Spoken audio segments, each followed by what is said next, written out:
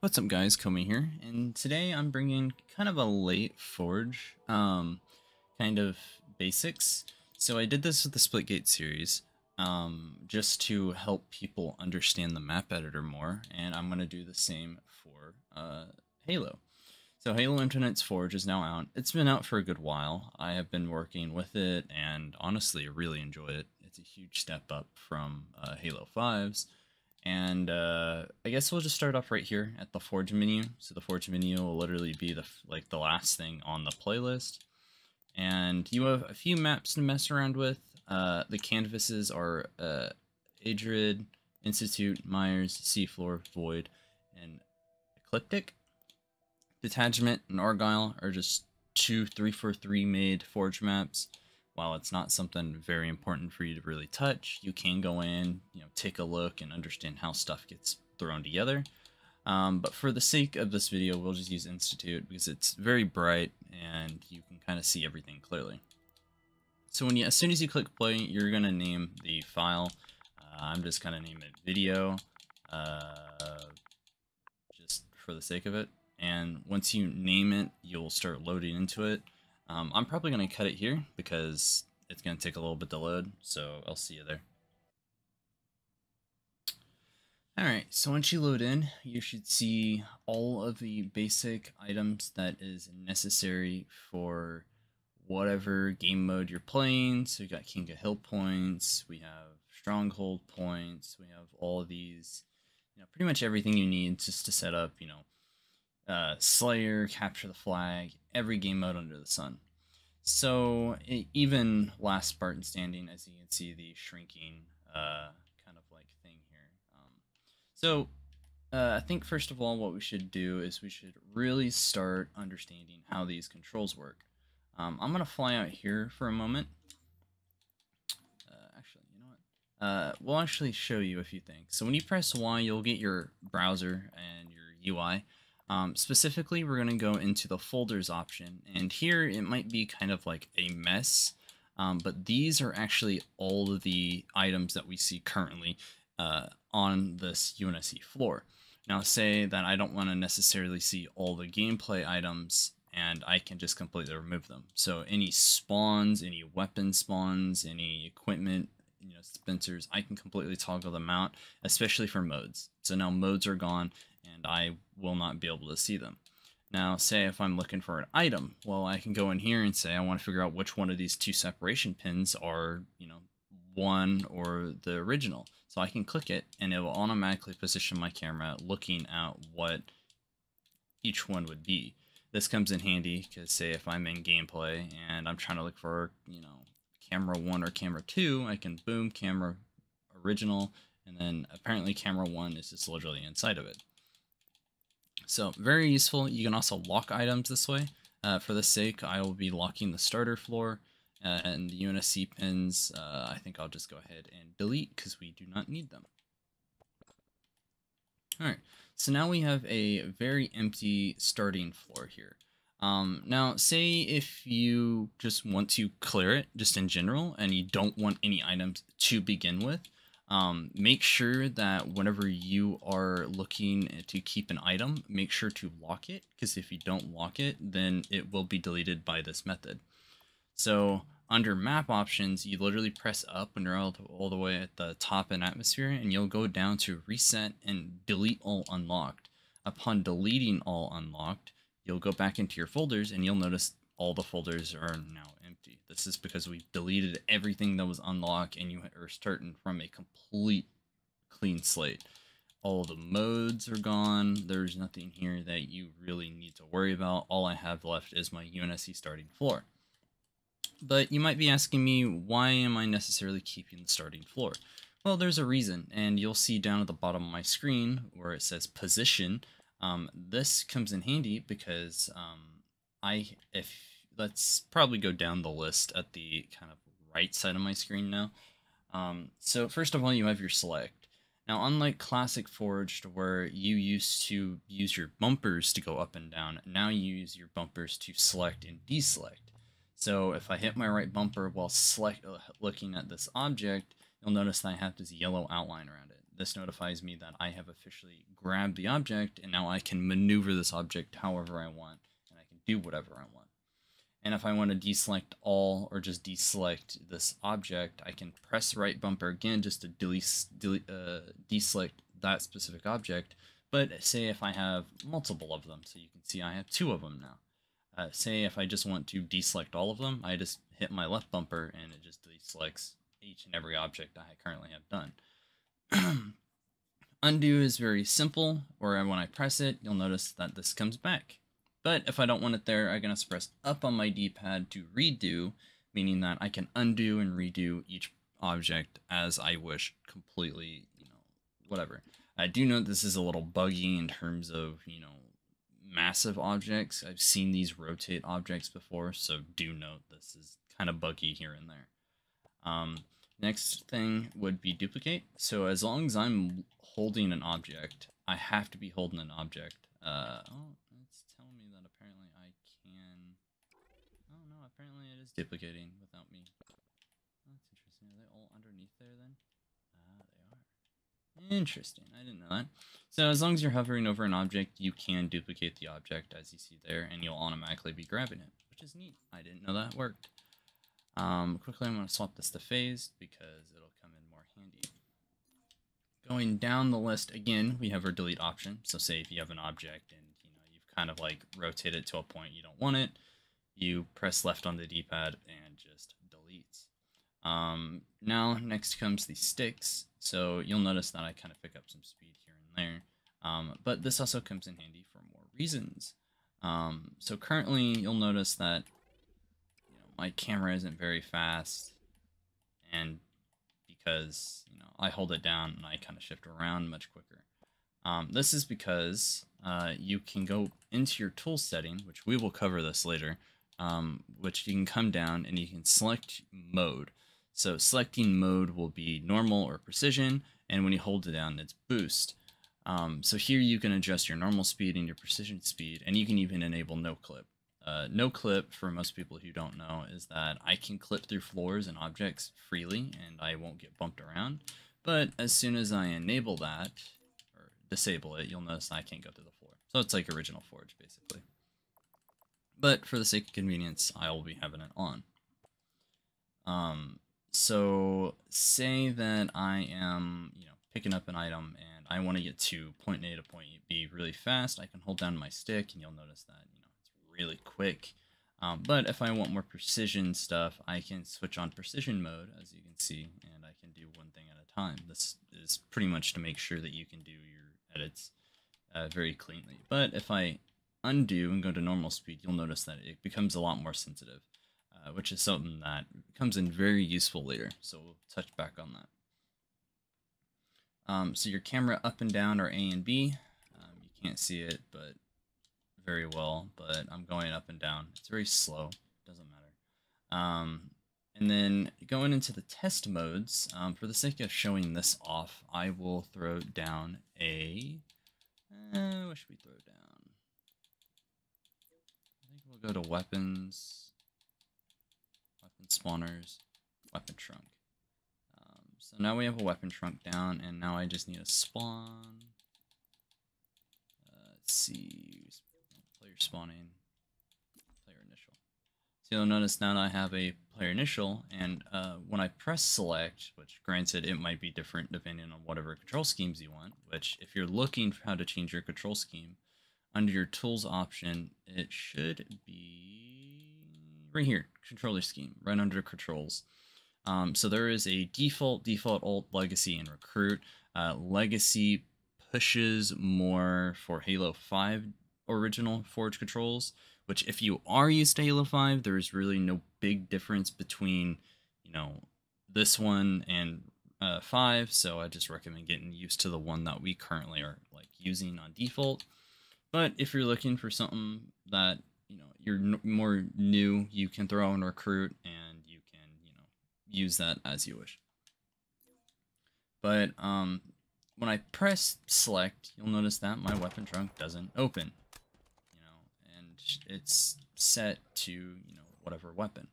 Um, so we're gonna press Y and we're going to go into the object properties here with the little gear.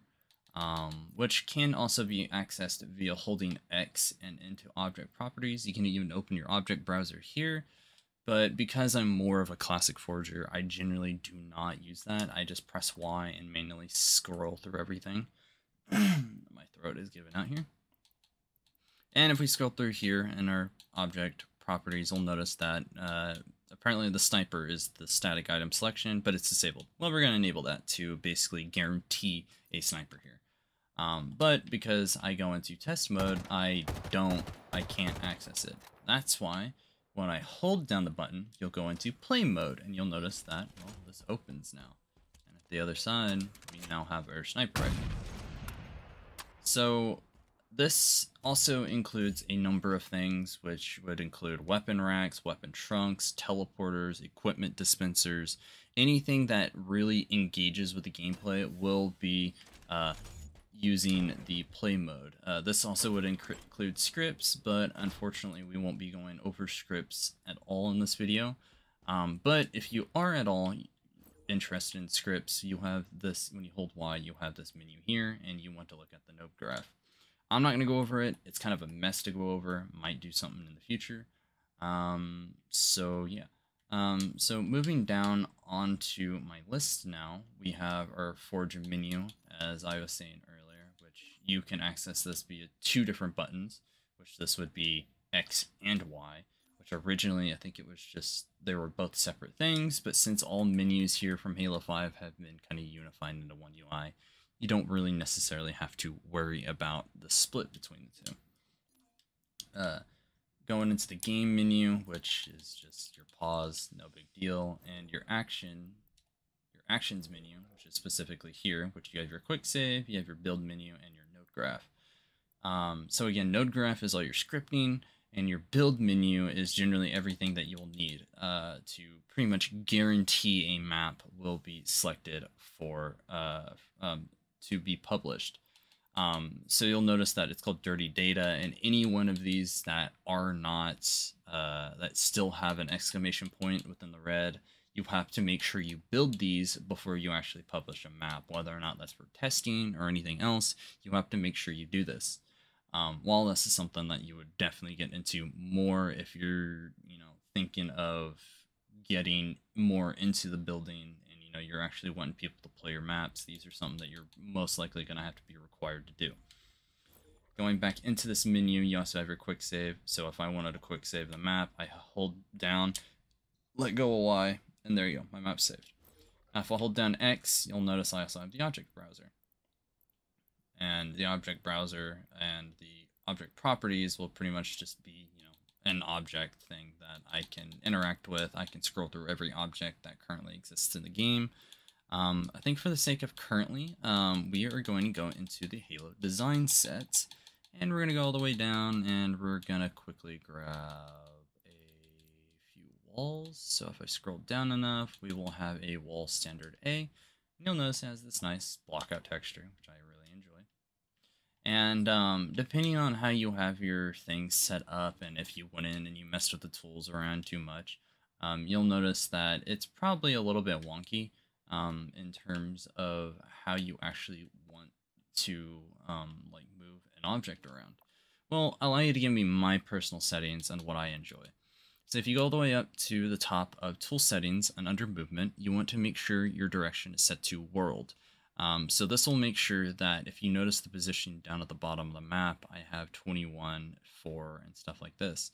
Um, this pretty much guarantees that I'm always on the uh, grid. So the grid is very useful in multiple ways, but the more so way would be actually symmetrical maps understanding your grid and understanding where blocks are placed pretty much allows you to mirror the other side. So say if I set this down to uh, 21 or sorry 0 0 so currently this is in the middle of literally the entire map so this is you know just by default the middle of the entire map but say if I have an object and you know I want to line it up but I want to drag it over so you'll notice that now it's 0 and negative 88 and you're saying, okay, cool. So I want to mirror that on the other side. Now I can pull it the other way, and then I can line it up perfectly with 88, and there we go. Everything is perfectly symmetrical. So uh, this is pretty much very useful in terms of understanding the world grid. Uh, I generally recommend putting everything on the world grid, it'll make everything much easier. Um, depending on how much you do uh, like duplicate, you'll notice each time you duplicate, now my number goes from 0.00 to 0.01. This is because now it's off the world grid and you have to reset its positioning. Generally, you're always going to be doing that because you're going to be duplicating, which if you hold your duplicate button, you'll notice that I can position this wherever I want. See, now it's over here. So you can duplicate in whichever direction you'd like. Sometimes a bit buggy, but some most of the times it works. Um, so say if that, uh, you know, you have the object direction. Now, granted, this is currently bugged. I've been trying to do my best with what this is. Um, but uh, sometimes you'll get it to where it does not really certain directions correctly. But you'll notice that with the object movement type, that 0, 1 that I used to be able to get rid of by moving on that same axis is now staying. This is because it's no longer on the world grid, it's on the objects grid. So this is good for rocks or any type of, you know, natural terrain that you're trying to get a specific um, angle out of. Uh, going back into my uh, tools menu, uh, my rotation also says center of mass and my snap. You can set snap to whatever. I like 45, therefore, uh, when you hold, number one, hang on, let me go back to movement. Uh, when you hold your left trigger, it's going to be your movement trigger. So if you want to move it at all, you hold your left trigger and then you press A, B to go down. You move your stick left, right, forward, back to move your block around. Relatively simple. It is worth noting that when you hold down your left trigger, you also have a bunch of options to increase your snap from, you know, if you it's right to increase, and then uh, to decrease, it also is the left side. But you can also change your movement type here by on D-pad, and you can even put your magnets on, which you can see these little white dots that are kind of all over the place in terms of your object. Um, neat thing about magnets, which is very hard to notice, is that magnets are actually uh, cursor based. So if I hover over a magnet, you'll notice that magnet also uh, prioritizes that, said magnet. Um, so very useful. Now, uh, let's go over snap real quick because it's also in this menu. Um, I have a one unit snap. Now, what does this do? Uh, for one, I'm going to shrink these down to, uh, yeah, five units will do. So you'll notice that I have a five unit block here, and I'm going to make sure I uh, am on the world grid. So I'm going to make sure these are on the world grid. There we go. Um, if you want to do any minor editing too, you can come into here and you can edit this as much as you'd like. Generally, I usually only do um, minor, very minor edits in the menu, and it's not necessarily required. Um, I want this set to, well, it's five units anyway. Um, so say that I want to kind of make a little like staircase. Well, that's relatively easy with the world grid because now I can just press A once and you'll notice it drops down. And if I just duplicate another one, reset its thing, and then I drop it down again, you'll notice that I'm kind of making just a perfect little staircase uh, with really no hard thing at all. Like, it's relatively easy. Um, whether or not you're able to walk up it, it's not going to be able to do it unless you put a blocker over it, which is a story for another time. But say if you want a more drastic change, um, well, that's where the snap comes in. Um, so the snap is very useful because not only do we have one unit snap, but we have two unit snap. So you'll notice that this is a two unit snap, uh, which I will drag it over, and I want to duplicate another one here so we can showcase this. Um, and then if I set a one unit snap, you'll notice that well, there's now a one unit gap here while this is a two unit. And this gets even more crazy because you can jump it up to four, and that's a four unit gap here. Um, and then we can also jump it up to an eight unit gap. And, you know, it keeps getting bigger and bigger until you hit 16, and then you have none snap, which is just kind of a smooth uh, movement to it. But we also have the point one, which is often called the Z fighting fix, uh, fixer, um, which generally uh, Z fighting is kind of what you see here with these glitching textures. So say that I don't want these glitching textures, um, I can turn on my precision mode. However, I do that. I'm not playing with audio right now, so you'll notice that I kind of adjust it even according to my position down at the bottom. It's now 0.03. And I can even do this with the top too by making sure I just kind of tap A and you'll notice that, well, it's a little bit fixed. I do kind of want it more precise. So yeah, you can adjust it like that too. Not that big of a deal. But I like to send it down to one because if you're just throwing blocks together, this is so much easier. So you could just you know, simply do minor adjustments um, via like however you'd like. So like just it's easy to snap stuff in place. Um, so quickly, let's go in here and grab another uh, wall standard. Uh, the next thing would be rotation. Um, so if you hold down the other trigger, you get the rotation, and all your settings are also in here. So we'll look at my uh, settings in here. I went over them in a moment ago, but here they are again. I have center of mass, uh, my snap at 45, and I have my type at world. Um, pretty much the same thing within the, uh, the rotation type. I have the world axis, and then I also have the uh, object axis and the camera axis, which are very different things uh, in terms of what you're wanting. The world will always, of course, go to the world axis, of which I've always kind of told. Um, but say if you're working with rocks and you want some really wacky, you know, rock placement or something, I would highly recommend turning on your camera axis. Therefore, it rotates via your camera's axis and you can kind of go nuts with it. Now, say if you have like a rotation you don't necessarily want and you accidentally threw this on and you know you're kind of going all over the place with it um, and you just don't want it in general uh, and, or you just want to reset it well you can hold down the trigger and press y and it completely resets and you can adjust your snap back to like you know whatever you need or you know however you would like. Um so you also have a change pivot button, which this changes the setting in here from pivot to origin, or uh, yeah, sorry, center of mass to origin, meaning that this will be the kind of the location that you're scaling from, or whatever. This will change your scale, which we will get over soon. Um, which is weird because now it scales from here, so you can scale from here now, which is a little funky, um, but we'll get into it later. Um, so you can rotate it via here, so you can make it look like a door. You can rotate via door uh, kind of rotation. Um, and if you're looking to swap your rotation, so say I don't want to rotate it this way or this way, well now I can rotate it this way when I press X. This used to be just holding the other trigger back in Halo 5, but it was adjusted for the scale feature. Um, and then of course we have a rotation type for our D-pad, which is pretty much what we've already gone over. So moving on to the scaling option. Um, so the scaling has less settings, but it's a bit more complex. Um, once again, can be messed around with uh, during the object mode.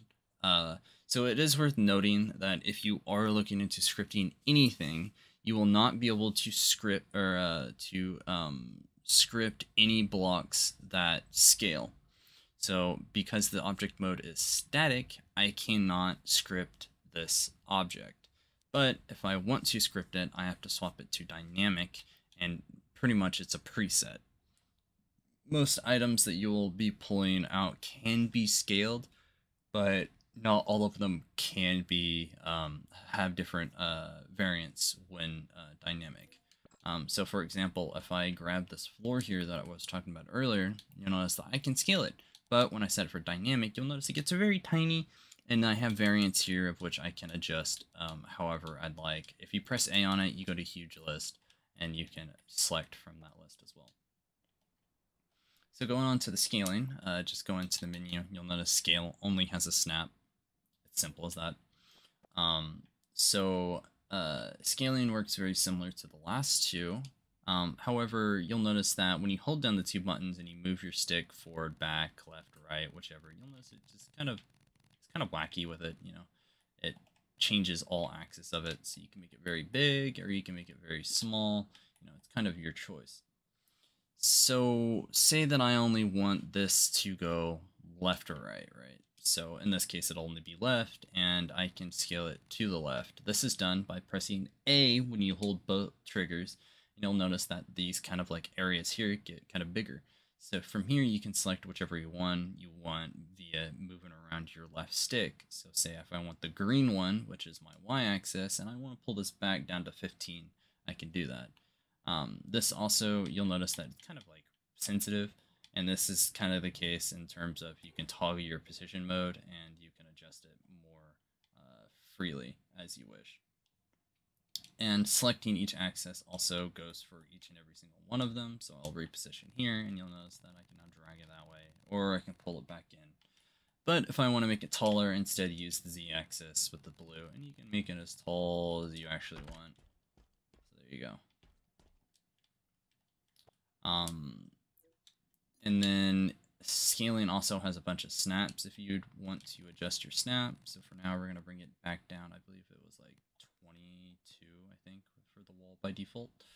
Um, you can go up to your scaling and you'll notice that the snap is also exactly the same. So I have 1, 2, 4, 8, 16, none, uh, 0.001, and I have all my other snaps. Pretty much you can guarantee that you'll always have a 4 unit snap just you know by default. So if you just need literally four units, you can adjust by four units. Um, so we're gonna bring this back down to 22, and there we go. That's pretty much all that uh, snapping is. And I think that just about wraps up the basics tutorial. Um, pretty simple. Uh, granted, um, if you are new, I would highly recommend looking at the control scheme. Actually, I've never really looked at the recruit control scheme. Okay, so it is just like OG Forge. That's cool. Can select du uh, duplicates on the top. That's funky. Oh, that's so neat. I love that. Is delete? No, deletes down on D-pad. What's why? Oh yeah, it'd be the object browser. Interesting. That's cool. So if you're looking for a more OG experience for um, the Forge, you can you're welcome to uh, use Recruit. So I think that generally just wraps up about everything with uh, Forge. Um, generally, everything will kind of be coming over time. And uh, hopefully I want to do more uh, edit like videos and stuff on it. Do, including redoing a bunch of my um, current Splitgate videos. So framing, all that stuff should also be coming back. So if you enjoyed it, you can always like, share, subscribe, do the things. Uh, and if you also just trying to get into Forge or something is in general, uh, I would highly recommend look, taking a look at Halo Infinite. It's a very pretty game when you look at the surface, and it gets very in-depth in terms of wanting to do level design. Um, really my go-to option for uh, anything in terms of level design. So uh, yeah, I guess you got, guess I'll catch you guys in the next video whenever that is. Adios.